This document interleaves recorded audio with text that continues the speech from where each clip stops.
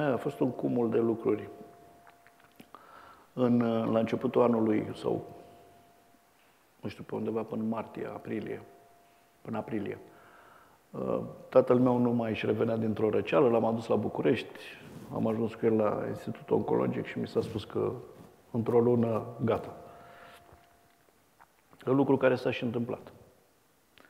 Uh, mai venise o factură pe vremea respectivă, guvernanții, nu că ăștia ar fi mai buni de ziua de azi, guvernanții de atunci au pus un, uh, o taxă de monitorizare și control pentru serviciile de curierat din uh, România.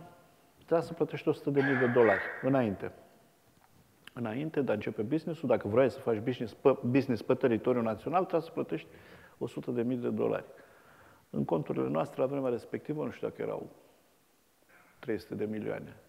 La banii, dar 300 de milioane vechi. 30 de mii de lei, hai să spun.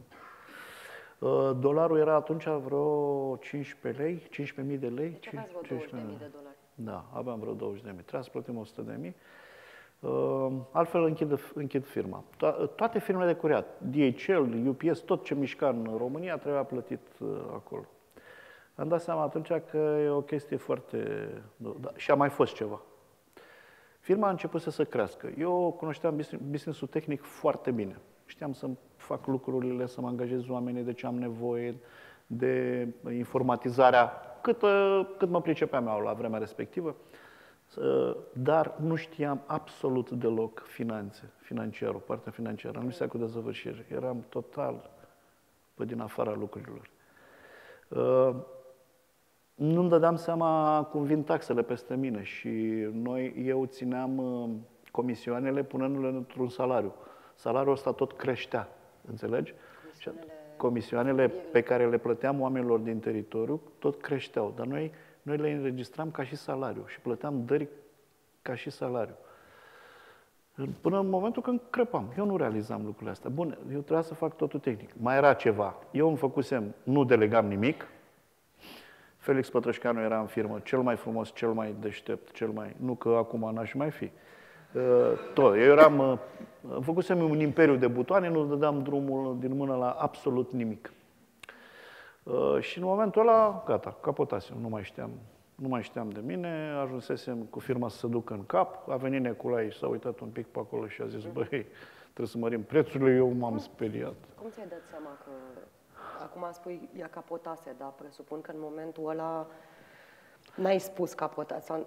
Cum Tot acest dat cumul m-a făcut să le dau telefon, bine, ne vedeam destul de des. M-am dus la ei și le-am spus, fraților, nu se mai poate. Ajunsesem în depresie, rău de tot, nu mai suportam să ascult muzică în mașină. Nevastă mea spunea că scrâșneam din noaptea, că vorbeam, cine știe ce vorbi noaptea, nu știu.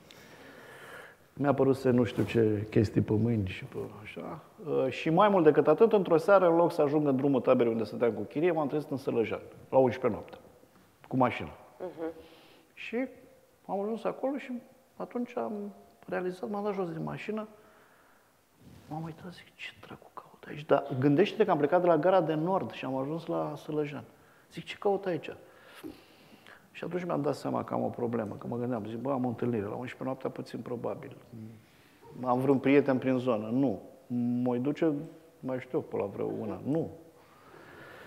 Zic, nu, nu se poate, ceva e în neregulă cu mine și atunci trebuie să fac ceva. Și a doua zi am sunat.